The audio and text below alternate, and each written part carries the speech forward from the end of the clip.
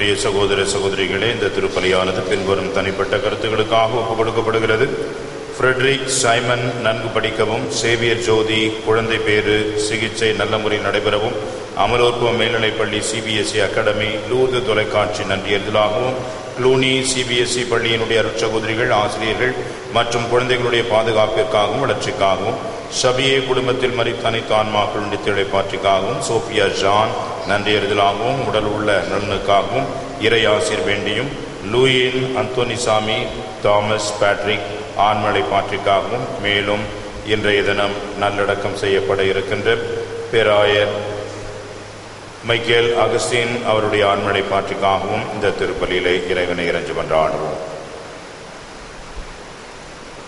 எல்லாமல்ல இறைவனிடமும் சகோதர சகோதரிகளே உங்களிடமும் நான் பாவியை ஏற்றுக்கொள்கிறேன்.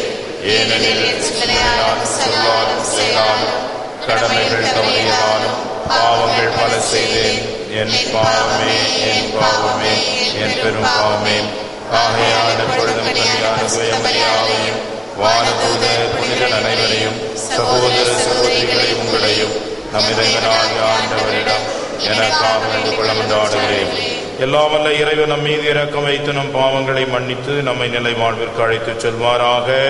ஆமேன்.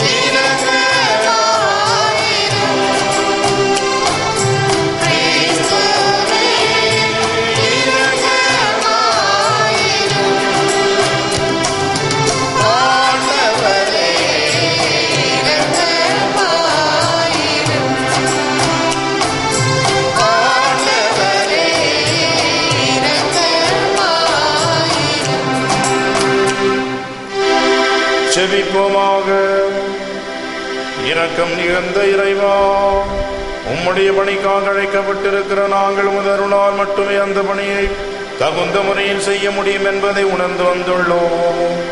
எனவே உம்முடைய அருள் வாக்காலும் அருட்சாதனத்தாலும் எங்கள் விசுவாசத்தை உறுதிப்படுத்தியருளோ உம்மோடு தூயாமியின் ஒன்றிப்பில் இறைவனா என்றென்றும் வாழ்ந்து ஆட்சி செய்கின்ற எங்கள் ஆண்டவரும் திருமகனுமாகிய இயேசு கிறிஸ்து வழியாக உம்மை மன்றாடுகின்றோ.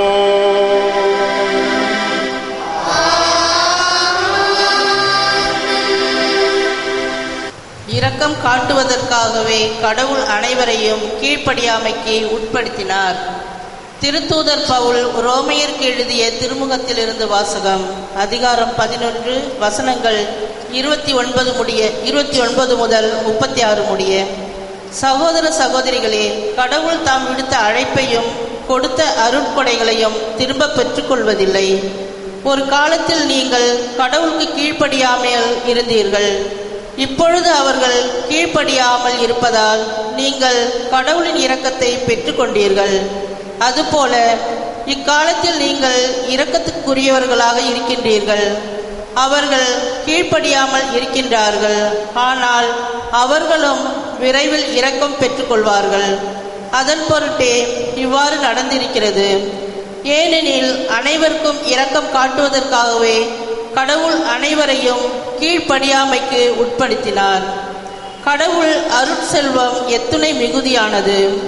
அவருடைய ஞானமும் அறிவும் எத்துணை ஆழமானவை.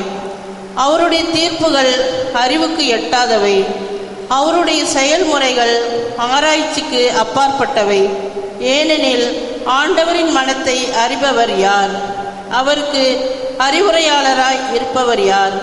தமக்கு கைமாறாக ஏதாவது கிடைக்கும் என முன்னதாகவே அவரிடம் கொடுத்து வைத்தவர் யார்? அனைத்தும் அவரிடமிருந்தே வந்தது. அவராலேயே உண்டானது. அவருக்காகவே இருக்கின்றன. அவருக்கே என்றென்றும் மாற்றி உரித்தாகுக ஆமேன்.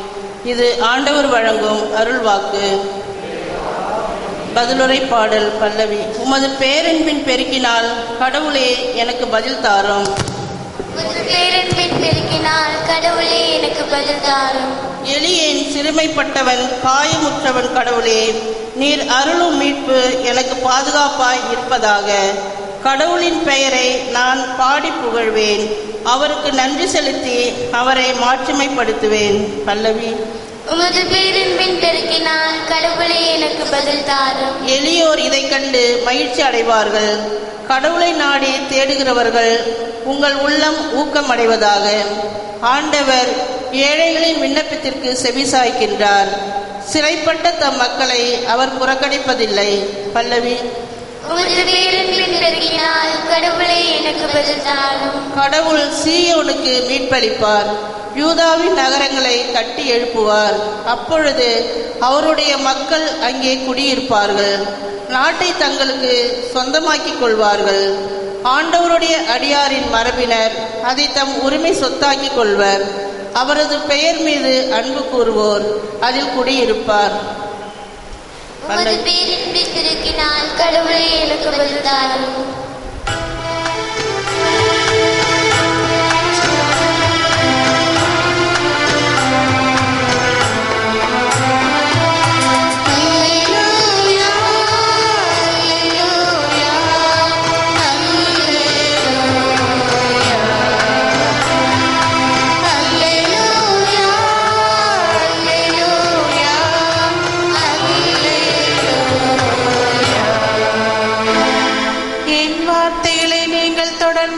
பிடித்து வந்தால் உண்மையில் என் சீடர்களாயிருப்பீர்கள் உண்மையை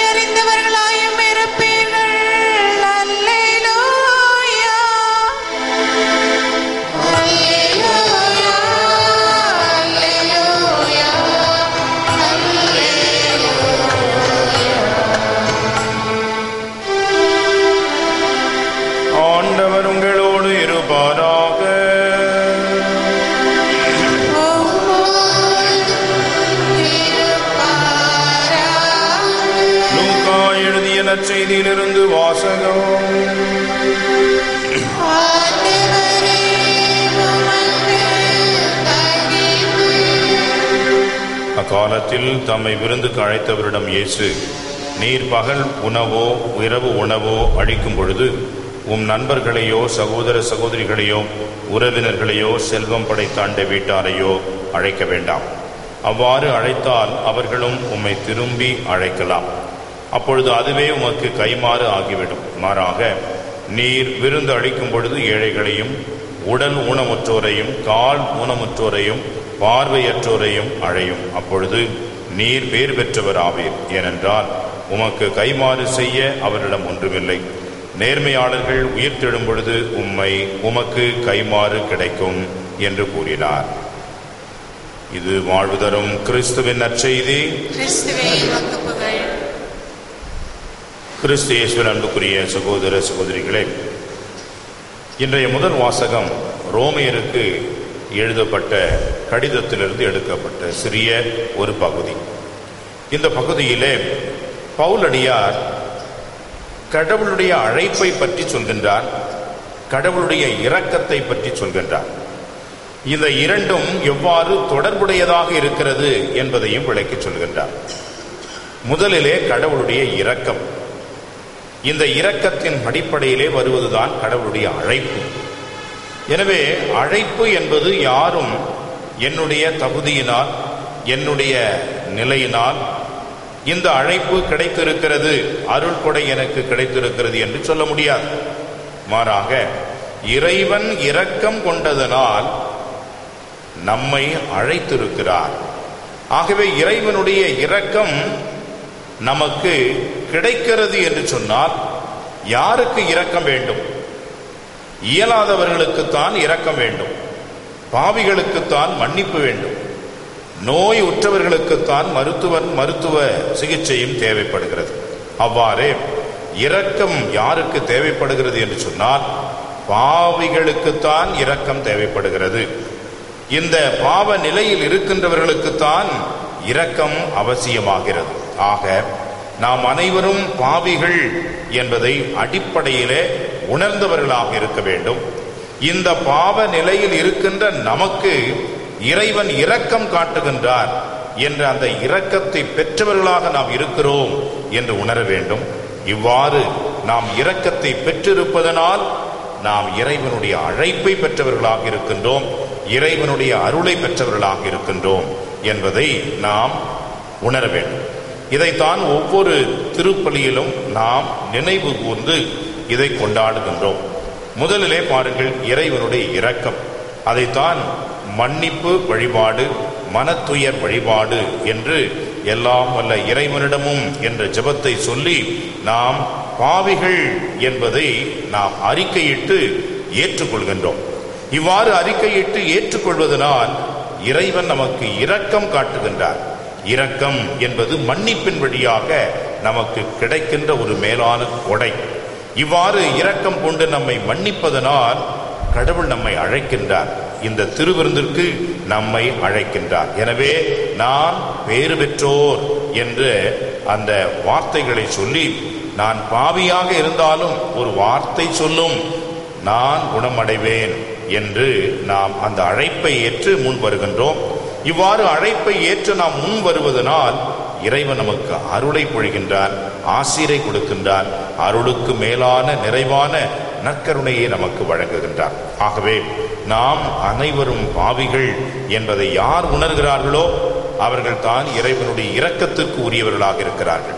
இறைவனுடைய இரக்கத்தை யார் பெறுகிறார்களோ அவர்கள் தான் கடவுளுடைய மன்னிப்பை பெற்றுக் கொள்கிறார்கள் இந்த மன்னிப்பின் வழியாக இறைவனுடைய அழைப்பை பெற்றவர்களாக அருளை பெற்றவர்களாக நாம் இருக்கிறோம். என்று நாம் ஒவ்வொருவரும் உணர்ந்து இறை அனுபவம் பெற இறை இரக்கத்தை சுவைக்க இந்த இறை அருளை நாம் அனைவரும் நிறைவாக பெற்றுக்கொள்ள முற்படுவோம். ஆம்.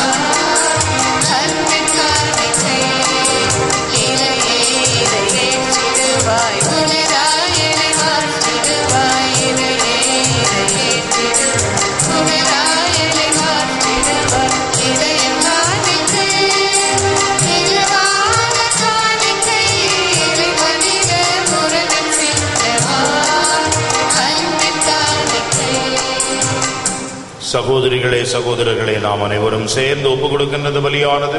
எல்லாமல்ல இறைவனாகி தந்தை மகிமைக்காகவும் தது நன்மைக்காகவும் தமது பரிசுத்த திருச்சபையின் அனைத்து நலனுக்காகவும் மது கையிலன்றி பலி ஏற்றுக்கொள்வாராக.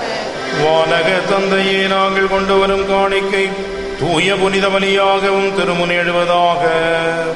இது எங்களுக்கு உம்முடைய முழுமையான இரக்கத்தை பெற்று தந்து எங்களை வாழ்விக்க வேண்டும் என்று எங்கள் ஆண்டவராகிய கிறிஸ்து வழியாக உமை மன்றாடுகின்றோ.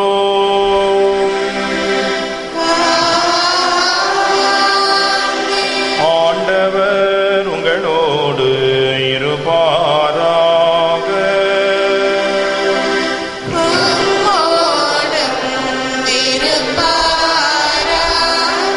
இதயங்களை ஆண்டவரிடம் எழுப்புங்கள்.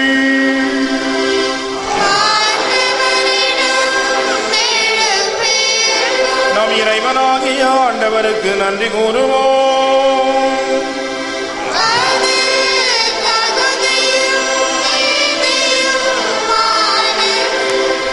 எங்களை அன்பு செய்யும் தந்தையே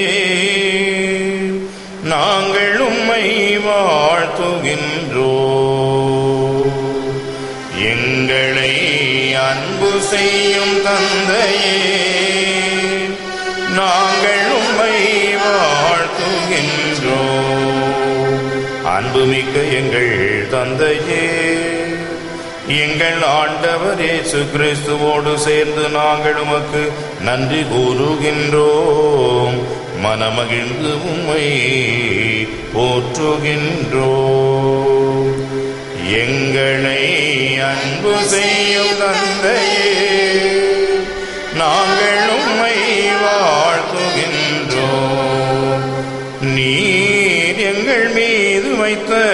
மிக பெரிது. இம்மாபெரும் அழகிய உலகத்தையும் உலக படைப்புகள் அனைத்தையும் உயிர் வாழ் உறவுகளையும் எங்களுக்காக நீர் படைத்திருக்கின்றீர். எங்களை அன்பு செய்யும் தந்தையே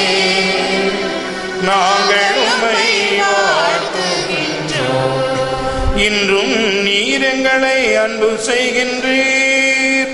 அதனால் தான் எங்களை உம்மிடம் அழைத்து வர உம் திருமகன் இயேசுவை எங்களுக்கு இரக்கமிக்க இறைவராக தருகின்றீர். எங்களை நாங்கள் எங்களை தொடர்ந்து அன்பு செய்கின்றீர். ஆகவே எங்களை கிறிஸ்துவுக்குள் ஒரே குடும்பமாக ஒன்று சேர்க்கின்றீர். எங்களை அன்பு செய்ய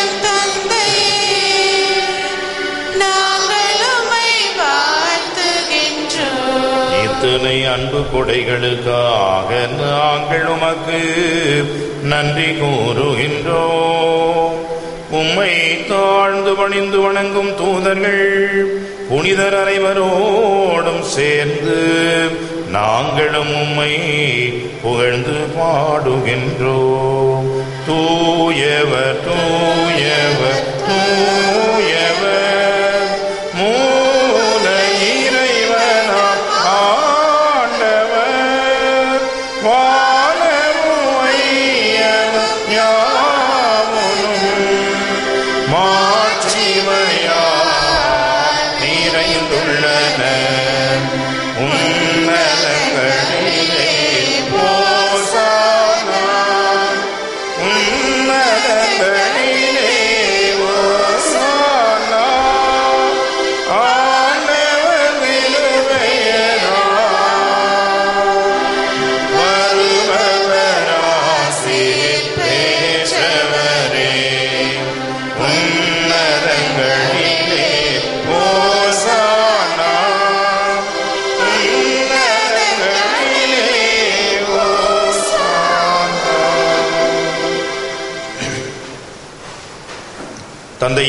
தந்தையே சுமையாகவே ஆசி பெற்றவர். அவர் ஏழைகளுக்கும் எளியவருக்கும் நண்பர். நாங்கள் உண்மை அன்பு செய்வது எப்படி என்றும் எங்களுக்குள் ஒருவர் ஒருவரை அன்பு செய்வது எப்படி என்றும் கற்றுத்தர உலகிற்கு வந்தார். அன்பு செய்ய தடையாக இருக்கின்ற தீமைகளையும் மகிழ்ச்சியான வாழ்வுக்கு எதிரான பகை உணர்ச்சியையும் எங்கள் உள்ளத்திலிருந்து அகற்றிவிட இயேசு வந்தார். நாங்கள் உமது உயிரை பெற்று வாழ தூய ஆவி என்றும் எங்களோடு இருப்பார் என இயேசு வாக்களித்தார். இறைவாம் எங்கள் அன்பான தந்தையே எங்கள் காணிக்கையான இந்த அப்பமும் ரசமும் எங்கள் ஆண்டவர் இயேசு கிறிஸ்துவின் திருவுடலாகவும் இரத்தமாகவும் மாறிட உம்முடைய தூய ஆவியை அனுப்பியருள வேண்டுமென உம்மை மன்றாடுகின்றோம் எங்கள் ஆண்டவர் இயேசு தாம் பாடுபடுவதற்கு முந்தின நாள் அளவற்ற தமது அன்பை காட்டினார். எவ்வாறெனில் அவர் தம் சீடர்களோடு அமர்ந்து ரா உணவு உண்கின்ற வேளையிலே அப்பத்தை எடுத்து உமக்கு நன்றி செலுத்தி அதை பெற்று தம் சீடர்களுக்கு அளித்து கூறியதாவது அனைவரும் இதை வாங்கி உண்ணுங்கள். ஏனெனில் இது உங்களுக்காக கையளிக்கப்படும் என் உடல்.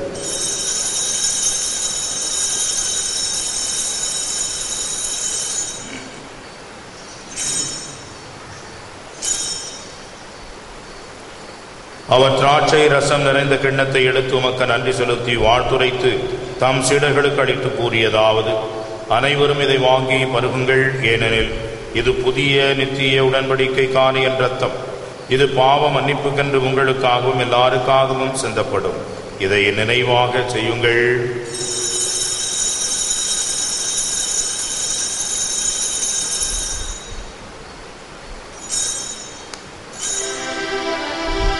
இது விசுவாசத்தின் மறை பொருள்.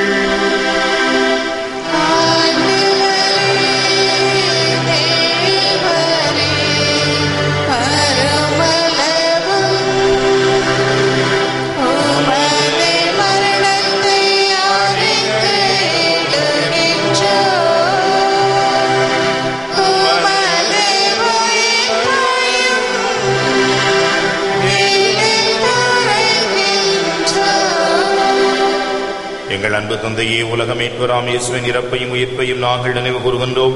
அவர் எங்கள் பலியாகுமாறு தம்மையே எங்கள் கையில் தந்துள்ளார். இந்த பலி எங்களை உம்மோடு என்றும் அன்புறவு கொள்ளச் செய்கிறது. அன்பான எங்கள் தந்தையே நீர் எங்கள் எளிய வேண்டுதலை ஏற்றுக்கொண்டு இத்திருவிருந்திலே பங்கு கொள்ளும் எங்கள் அனைவருக்கும் உடைய அன்பின் ஆவியை தந்தருளும். இவ்வாறு திருத்தந்தை பிரான்சிஸ் எங்கள் பேராயர் அனந்தராயர் ஏனைய ஆயர்கள் மக்களுக்கு பணிபுரிவோர் அனைவரும் இறை மக்களாகி நாங்களும் உமது திருச்சபையின் மென்மேலும் ஒன்றித்திருக்கச் செய்தருளும்.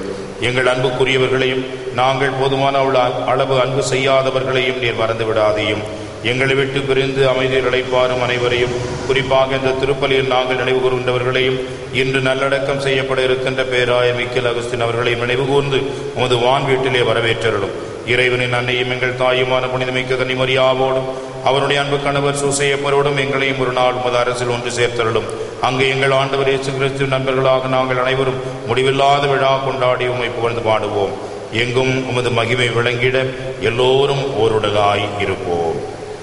இவர் வழியாக இவரோடு இவரில் எல்லாம் வல்ல தந்தையே தூய ஆமையின் ஒன்றிற்கு எல்லா புகழும் ஆட்சியும் என்றென்றும் உமக்கு உரியதே. ஆ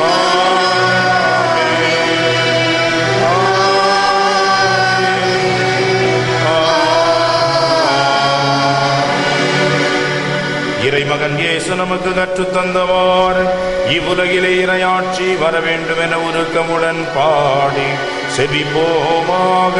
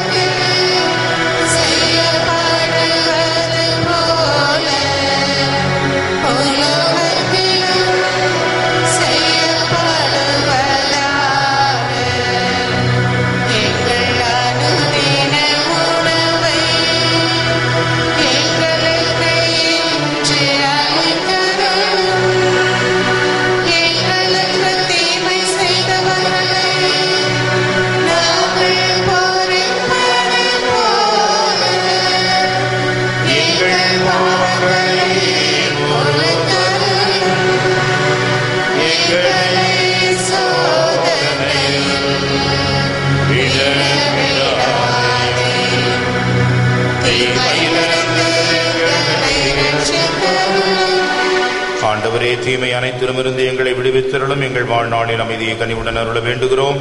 உமது இரக்கத்தின் உதவியால் நாங்கள் பாவத்திலிருந்து விடுதலை பெற்று யாதொரு கலக்கமுமின்றி நலமாயிருப்போமாக.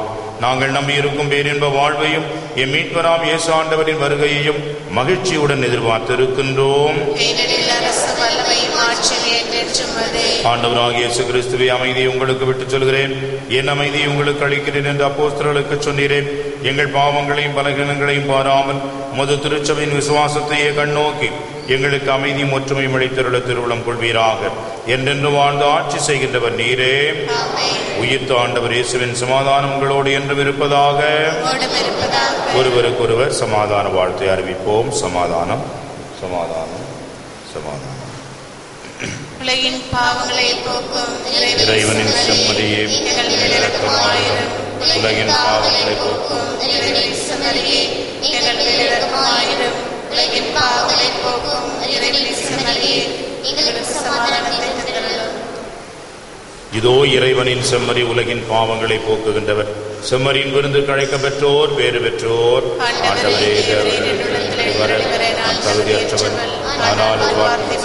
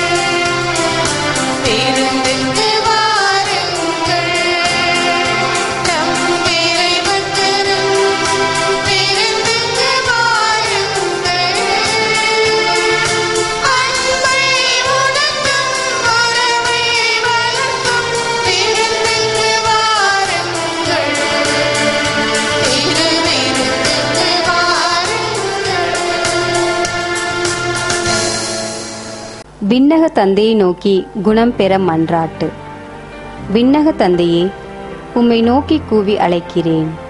உமது வல்லமையினால் நான் படைக்கப்பட்டேன். நான் உள்வாங்கும் ஒவ்வொரு மூச்சின் போதும் ஒவ்வொரு காலையும் கண்விழிக்கும் போதும் ஒவ்வொரு மணித்துளியின் போதும் நான் உமது வல்லமையின் பாதுகாப்பில் இருக்கிறேன். தந்தையே அதே வல்லமையில் நீர் என்னை தொட வேண்டும் என மன்றாடுகிறேன். ஒன்றுமில்லாமையில் இருந்து என்னை உருவாக்கிய நீர் மீண்டும் என்னை புது படைப்பாக்க உம்மால் கூடும். உமது தூய ஆவியின் குணப்படுத்தும் வல்லமையால் என்னை நிரப்பும். என்னிடம் இருக்கத்தகாதவற்றை அகற்றி அருளும். உடைந்தவை ஊர்பெறச் செய்தருளும். நோயுற்ற செல்களை வேரோடு பிடுங்கி எரிந்துவிடும். அடைப்பட்ட நாளங்களையும் நரம்புகளையும் திறந்துவிடும். பாதிப்புகளை சீர் செய்தருளும் அத்தனை அலர்ஜிகளையும் அகற்றி அருளும். எல்லா விதமான நச்சுத்தன்மைகளையும் சுத்தப்படுத்தி அருளும். உமது குணமாக்கும் அன்பை என் உடலுக்குள் புகுத்தி அருளும். அதனால் நலம் குன்றிய இடங்கள் எல்லாம் புத்துயிர் பெறட்டும். இதனால் நீர் உருவாக்கியது போலவே எனது உடல் செயல்படச் செய்தருளும். எனவே தந்தையே என் உள்ளத்துக்கும் உடலுக்கும் முழு நலனை தாரும். இதனால் எஞ்சியுள்ள எனது வாழ்நாளில் உமக்கு உகந்தவனாக நான் பணிபுரிவேனாக. இவற்றையெல்லாம் உமது அன்பு மகனும் எங்கள் ஆண்டவருமான இயேசு கிறிஸ்துவின் பெயரால் உம்மை மன்றாடுகிறோம். ஆமென். செவிப்போமாக என்றும் வாழும் தந்தையே இறைவா வாழ்வுக்கு வழிகாட்டும் வார்த்தையிலும் நிறைமகிழ்ச்சி அளிக்கும் விருந்திலும் உம்மை சந்திக்க அருள் கூர்ந்தமைக்காக நன்றி கூறுகின்றோம். நீர் காட்டும் பாதையில் நடந்து நீர் வாக்களிக்கும் மகிழ்ச்சியை இப்பொழுது முன் சுவைக்க அருள் தாரும். எங்கள் ஆண்டவராகிய கிறிஸ்து வழியாக உம்மை மன்றாடுகின்றோ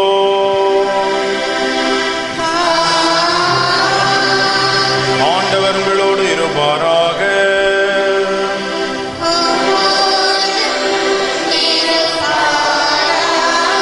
எல்லாம் வல்ல இறைவன் தந்தை மகன் உங்கள் அனைவரையும் ஆசீர்வதிப்பாராக.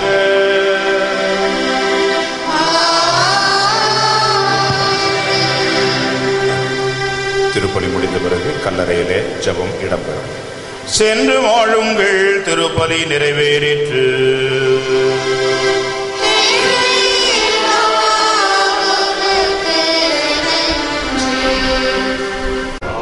அருளறிந்த மரியை வாழ்ந்த கத்தர்ந்தனே பெண்களுக்குள் ஆசீர்வதிக்கப்பட்டவர் நீரை. உடைய திருவயிற்றின் கனியாகிய சுகம் ஆசீர்வதிக்கப்பட்டவரே.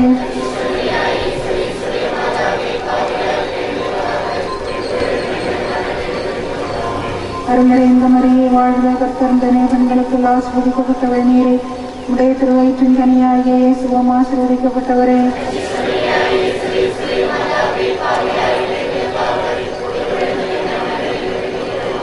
அருளறிந்த மரியை வாழ்க கத்தர்ந்தனே பெண்களுக்குள் ஆஸ்வதிக்கப்பட்டவர் நீரே.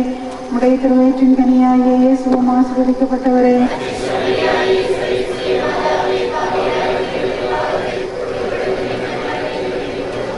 பிதாவுக்கும் சுதனுக்கும் பரிசுத்த ஆவிக்கும் மையமே உண்டாவதாக.